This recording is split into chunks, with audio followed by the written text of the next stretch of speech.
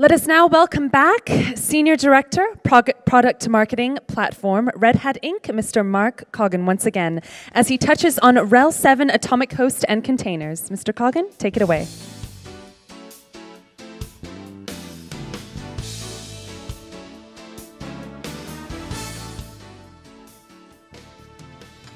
Thank you, Stephanie. Thanks, Chris, as well. Uh, great, great presentation. I think starting to knit together the, the portfolio of, you know, again, of infrastructure solutions from Red Hat, but also how you manage them uh, in a way that makes a lot of sense for you as customers who have very disparate uh, sets of technologies, but unifying them together into what we refer to as the open hybrid cloud. So what I'm going to talk about for the next 30 minutes is a kind of an emerging area for Red Hat and one that I think is starting to um, really take storm and interest in the industry, and that is the area of Linux containers, application containers, and we're referring to this as applications on the move. Um, and I'm going to talk about a lot of different trends and things happening in this particular space and give you a little bit more insight into what Red Hat is doing. So to recap on some of the IT concerns that we hear from customers, you know, of course, how do, how do customers maintain, um, you know, the responsiveness to the line of business and, and what is, again, increasingly intense and rapid fire uh, requirements from the line of business to deliver new services, to uh, increase capacity and resources available, to do things quicker and faster, um, whether it has to do with acquisitions or new lines of business being launched, lots of requirements that the IT organization is, to, is responding to from the line of business. Of course, the reality is they're being asked to do this with existing resources. Um, do it efficiently, do it, you know, trying to drive costs down, but fundamentally, as Chris mentioned, budgets aren't really being raised, so you have to fit things into the budgets you have. Keeping the lights on, um, and the only way to really get money allocated for new innovative things is if you can somehow drive costs down and be more efficient. Now, while you still are doing all these things, there, there still remain the table stakes, we call them, of keeping the enterprise secure. You know, you still have to deliver those, those critical securing the data, um, securing and uh, delivering privacy, um, and, and securing and delivering uh, the, the, the applications that are accessible to your business. So this, this whole set of priorities, though, also can be represented as a set of IT challenges that uh, present themselves in a cycle.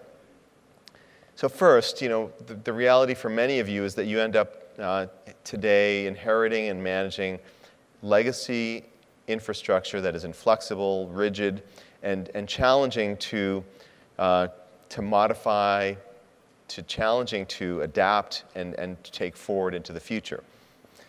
Now, the, the byproduct of that inefficient infrastructure is that you're able, you're, you're, resulting in having to support, maintain this with additional staff, in some cases skills that are hard to find because many of these systems represent um, either applications or, or technologies that are five, eight, ten years old. Again, very often to find staff to maintain and support this. So you end up with inefficient operations. You end up also, though, being, doing this in a way that maintains the status quo. You're kind of stuck. You know, you're, you're keeping the lights on. You're unable to break free of the cycle because you're stuck with the staff requirements, with the budgets you've been allocated. And the reality, as I mentioned earlier, is with all of this now, the cycle means you have less time to innovate. So as the business wants you to be more innovative, to deliver those new services and capabilities to align to the business strategy, to transform the business through the transformation of IT, you're actually struggling to do that because you don't have the time or the budget to innovate. So how do you break through and break free of this virtuous cycle that, that creates a very difficult spiral that you're all stuck in? Well, we think that one of the ways to do this is to, is to evaluate the capabilities that we believe will come with the advent of Linux containers and application containers. And we think that what's going to happen through this new set of technologies is that it will allow you to transform the way you deliver applications to the business You will be able to create new classes of applications. You will able, be able to innovate, and in a way that's going to start to break that cycle that I talked about on the previous slide. So what are some of the benefits of Linux containers? First, they will allow you to, be, um, to achieve deployment flexibility.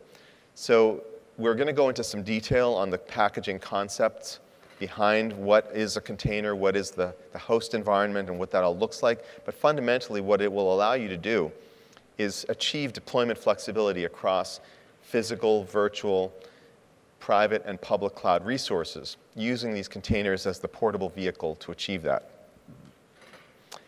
Second, through concepts of uh, development ops or DevOps integration um, and this new trend, you're going to be able to achieve uh, application delivery much faster. And we'll explain why. Third, you'll do things more efficiently. The containers themselves will represent um, a set of technologies and packaged in a way that makes the deployment, the provisioning, the management and maintenance of these uh, containerized applications and the hosts themselves much more easy and more efficient for you as an organization.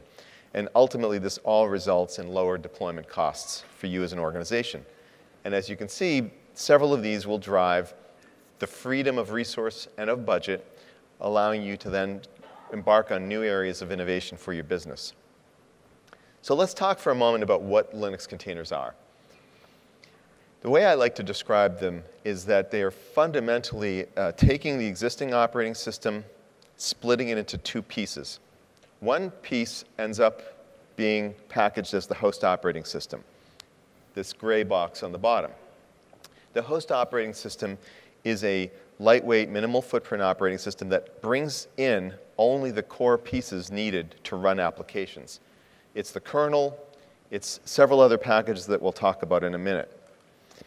The second area you're now splitting is you're taking pieces of the operating system into the container itself. And this container is the application as well as the dependencies that that application has to run. The libraries, the runtimes, the specific user space packages that the application needs. Now, you're, so you're splitting these two pieces in in what is from a large uh, set of capabilities and, and, packages in the, in the traditional distribution or operating system, you're, you're really streamlining this down to a minimal set of core things. And by doing this, and by doing this, you're able to then make it more portable, more easy to deploy, and of course, easier to maintain and keep secure. And we'll talk about all of this in a bit. But this is fundamentally what the container is and how it runs. You see a picture on, on the uh, slide here of a logo from a company called Docker. Can I see a show of hands for how many people have heard of Docker? Okay, so a fair number of you. Docker is a company that we're partnering with. Docker is many things. It's a company, it's a, uh, an upstream open source project, it's a packaging format, um, and it's a tool. The tool itself ships with Red Hat Enterprise Linux 7, and it's integral to how um, the container is built, the format in which the container is constructed, uh, the metadata around that container, as well as how you instantiate and uh, basically bring the container up on top of a host. So this, this is a company that we are working with closely. Um, they're somewhat a visionary in the field, but we're, they're an integral partner of Red Hat's in, in how we move forward. So let's talk for a moment about comparing virtualization to containers, because that's a logical question from, from people. They say, well, this really looks like virtualization. You know, you're isolating an application, you're standing up multiple instances of this on a single piece of hardware. Um, looks like virtualization to me. And by very simple contrasts and, com and comparisons, it is similar. But there are some distinctions that are worth describing here.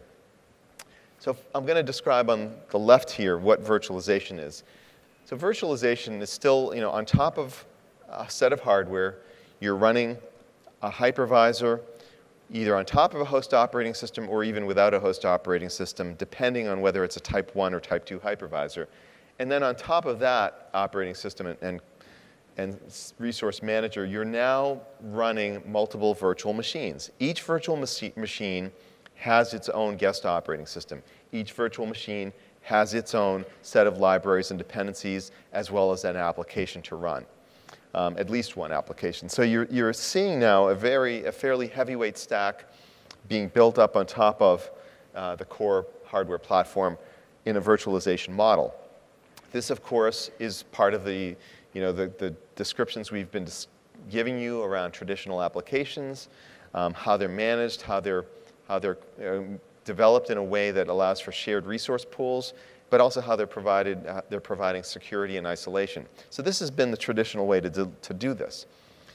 Now on the right, you see containerization as a trend. Contra containerization um, really streamlines the number of things you need to run multiple applications on a, a core piece of hardware. And you do that through a host operating system, a single by the way, single host operating system on top of the hardware. And then on top of that, multiple applications um, being run as their own container, each container containing the core dependencies required to run that application. So it may be glibc, it may be Python, it may be other particular runtime, um, uh, runtime dependencies, but really each container is, is minimally constrained to what is needed to run that app and the host itself is also constrained. So it's a much lighter weight uh, version, simple version of application packaging. Each container can be unique. Each container can be um, stateless. You know, you get a lot of the benefits of these cloud-enabled applications that we've been talking about, um, quickly provisioning things up, uh, decommissioning them as well. It, it lends itself nicely to a scale-out architecture.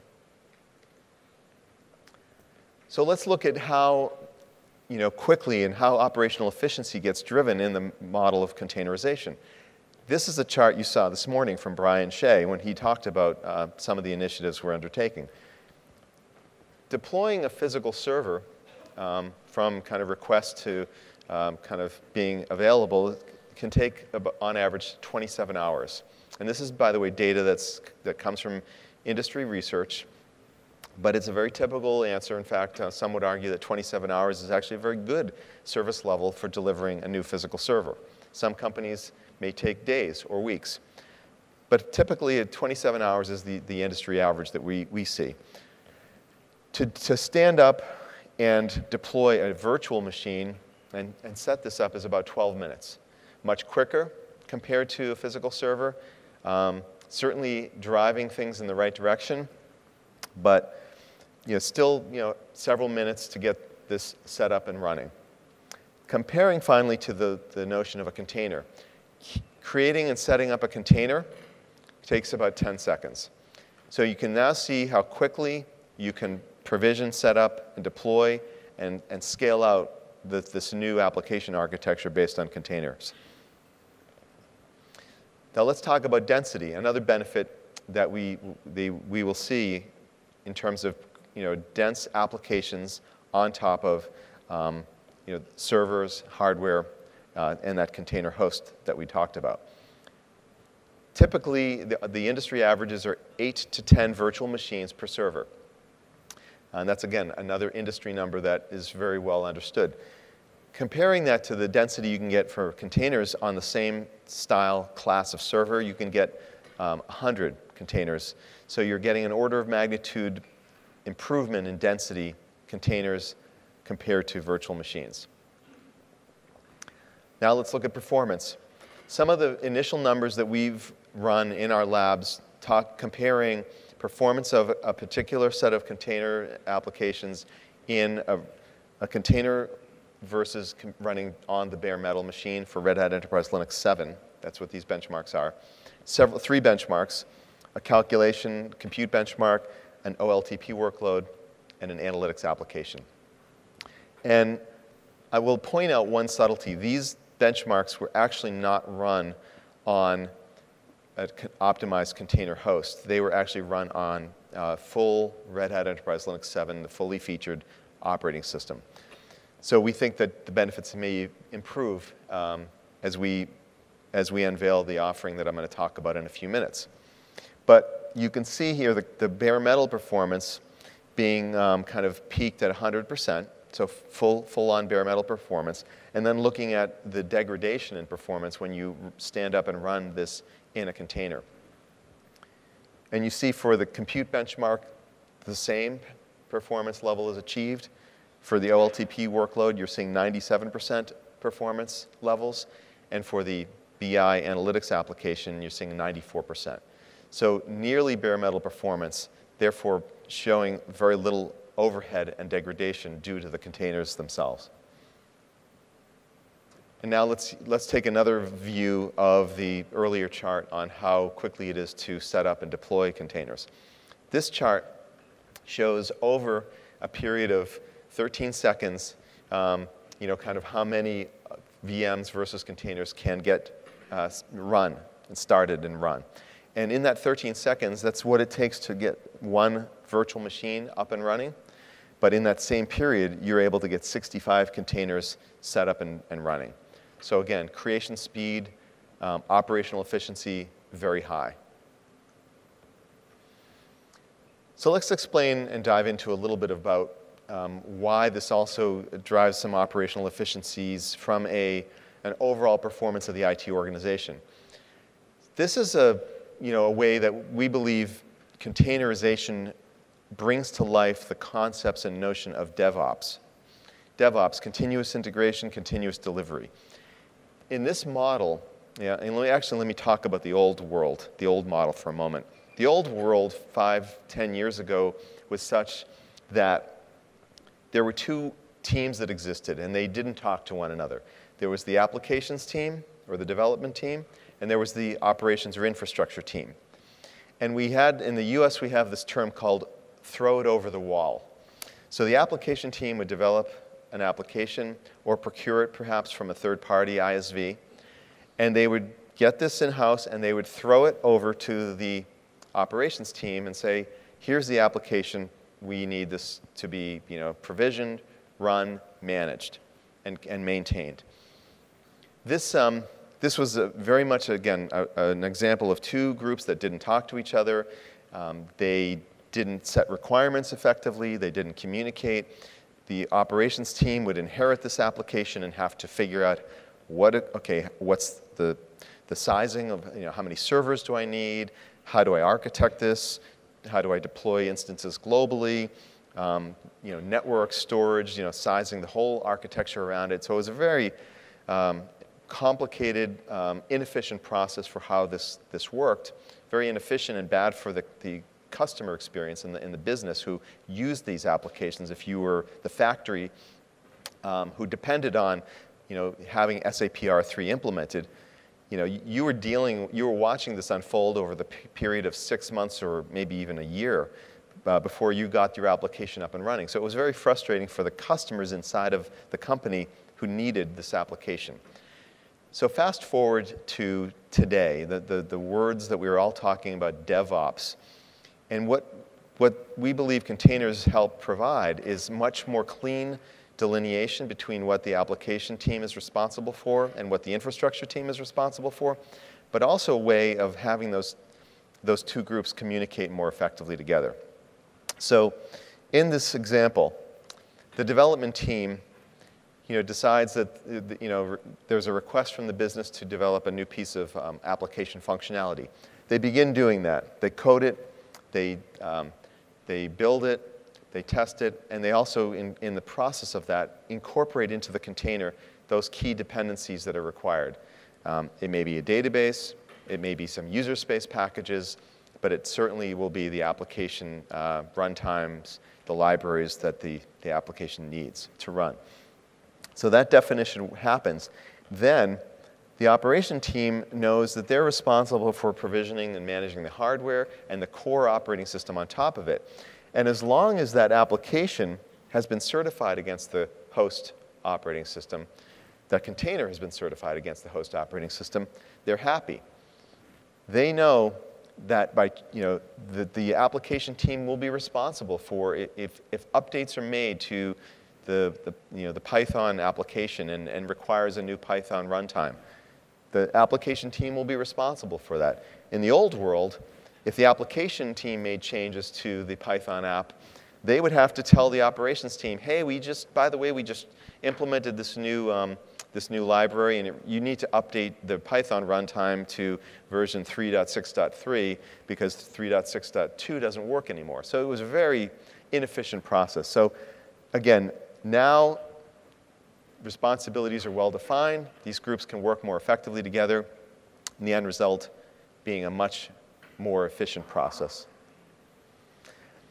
So you're probably all wondering why I have a picture of a faucet and, and reference to drinking water specifications on this chart.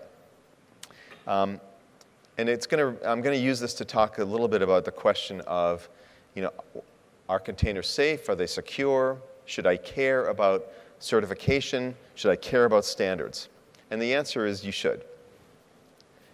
So just like you wouldn't drink water from a source that you didn't understand where the, the water came from, that you didn't, uh, you wouldn't drink water that wasn't tested against certain industry standards. You probably wouldn't drink water that came through pipes that weren't made um, you know, against certain industry specifications, or faucets that weren't made in factories that adhere to ISO 9000 manufacturing standards. Well, we believe that same model for drinking water.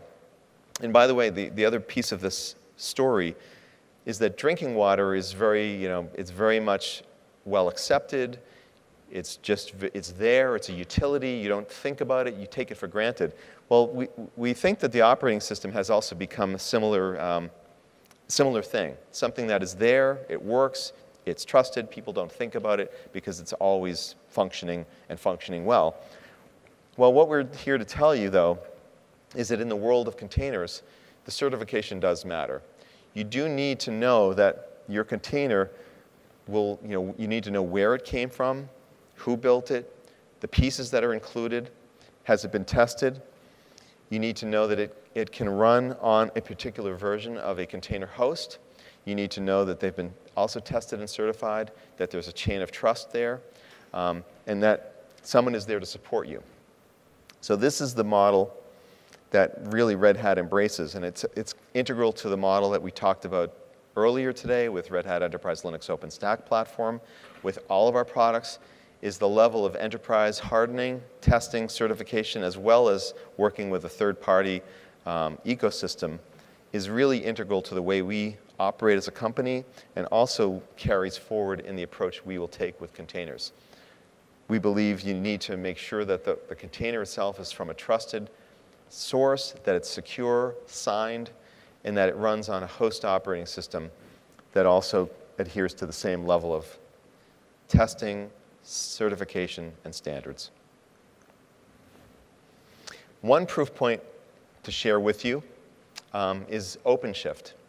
Uh, for those of you who were, were in the, the other track, track B, learning a little bit more from Krish about Red Hat uh, uh, OpenShift, OpenShift is our platform as a service offering. Again, you heard us mention this throughout the presentations this morning as well. Red Hat OpenShift is our platform as a service offering, and it's built on top of Red Hat Enterprise Linux and embraces the notion of Linux containers in the way that the application functionality called gears are delivered. So this, you know, fundamentally, you, we've been working on this for several years. It's up and running. It's a very valid, valid proof point for this approach. And it will also continue to be part of our vision of how containers get ultimately delivered as a portable, uh, a portable application delivery vehicle.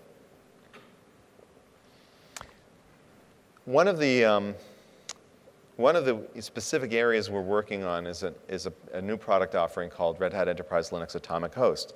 You saw us announce this at Red Hat Summit in April. And at that time, what we were doing is really making available a, a pre-beta uh, version of this to a select number of Red Hat Enterprise Linux 7 beta customers to do very early stage testing. And we continue through that testing as we speak today. But our intent is to then take this into a full public beta later this year. And what Red Hat Enterprise Linux Atomic Host is, is that minimal footprint, container optimized, um, host operating system. It is just the core requirements and capabilities to run application containers. It's the Linux kernel. It's C groups for resource management, SELinux and SVIRT secure, for security, systemd for process management. It's um, kernel namespaces for the process isolation that's required. But this, this is really this, the definition of what the atomic host is. It also allows much more simple maintenance through uh, a new packaging de deployment methodology called OSTree that allows you to update and deploy, but also roll back technology pieces only at the very granular level without disruption to the overall operation of the host environment. So simplified maintenance. But ultimately, it, it inherits all of these technologies from Red Hat Enterprise Linux. So it's, it is enterprise grade, it's tested, it's certified, and it also supports and delivers with it the full ecosystem that Red Hat delivers. So look, you know, watch for more of this later this year. Uh, stay tuned to it. It's, it's a very exciting area for, for Red Hat, and will, will be you know, effectively our optimized uh, container host offering to run application containers. I think I've talked about this quite a bit already. Um, the thing I will still uh, maybe add to the story is the mention of Docker. Again, Docker being the tool that exists inside of the RHEL atomic host, but also the tool that is used to build and construct the containers themselves. Another thing to talk about here is, is that the containers, um, application containers, we believe, will also create a new class of applications.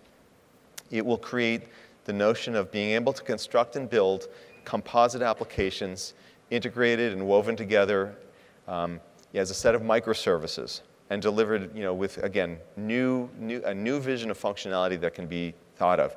So you imagine, imagine a, a financial services firm that wants to develop um, a set of trading applications for their, for their traders. They may have a back-end market data system that ties into um, some data feeds. They may have a front-end web interface for their traders.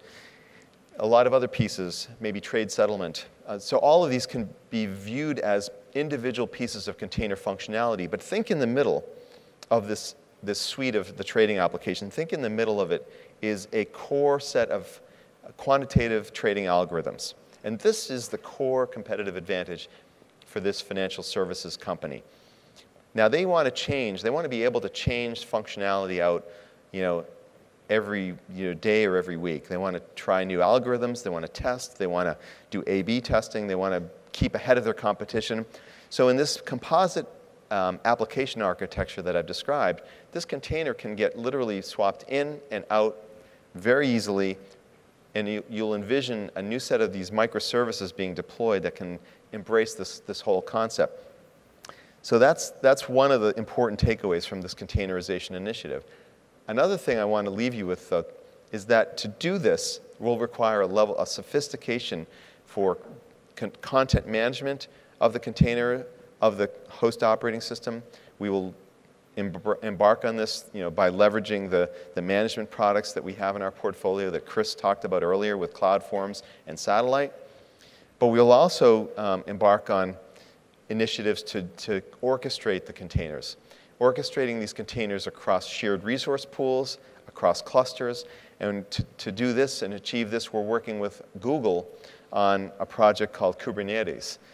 We've achieved committer status with Kubernetes, uh, working with Google and many other companies, and it's an important initiative of how we aspire to deliver full functionality for this initiative to the customer. So the container host in the form of Red Hat Enterprise Linux Atomic Host, the tools to build and develop the containers themselves, the management products with CloudForms and Satellite required to um, update the content of both the, the container itself as well as the host, and then finally, Kubernetes and other tools required to orchestrate these containers across uh, multiple nodes and shared resource pools. So that's our, that's our vision of containerization but ultimately delivering against the hybrid cloud, the open hybrid cloud, where we think containers will now be able to easily be moved from physical to virtual to private cloud in things like RHEL OpenStack platform to even the public cloud um, with our partners in CCP, uh, our Certified Cloud Provider Program. This is, containers bring to life, we believe, the notion of true application portability for the enterprise. A couple of proof points from uh, uh, observations from, from an industry analyst as well as from a, a customer, um, as well as another, actually another industry analyst in a research report published in May. You know, that, that we, you know, we will lead, we will provide thought leadership. Um, just the way we did with Linux, we will apply the same approach and leadership into the containerization space and uh, just validation of our, of our work um, from a couple of analysts as well as endorsement of the fact that in Red Hat Enterprise Linux 7, we delivered this technology, and several customers, including NTT cited here, are seeing value in being able to now use this technology with Red Hat Enterprise Linux 7. To learn more, uh, follow us on our blog, the you know, rhelblog.redhat.com, and there are multiple blog posts around this, this topic um, that you should stay in touch with and follow it. There's a, a, Project Atomic is our open source project where we are developing and, and leading tool development for companies to develop um, their own, effectively their own atomic host. Um, so the tools required to develop those optimized container hosts. But again, upstream open source community led by Red Hat. And then, of course, the, the full announcement that we made at Red Hat Summit in April uh, can be found at this, this uh, news post here where we talk about what we're doing with Docker, what we're doing with RHEL Atomic Host, some upstream projects like Project Atomic and GearD, as well as um, our plans and vision for delivering a certified ecosystem for containerization technology. So with that, I want to thank you and uh, again, enjoy the rest of the afternoon and, and look forward to talking with you. Thank you, Mr. Coggins.